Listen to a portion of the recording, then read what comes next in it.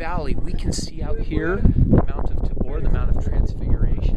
In fact, we are taking this picture from Mount Carmel. Uh, this is the place where Elisha defeated the 400. Elijah defeated the 450 priests of Baal, and they were consumed with fire and burned with the contest that Elijah made with them. And so from out here we can see Nazareth over here, the Golan Heights, Megiddo. I mean, th- this is like the place here in the biblical land for which we can we can see so much of what happened. The Savior out here in Nain raised a, a, a boy from from death.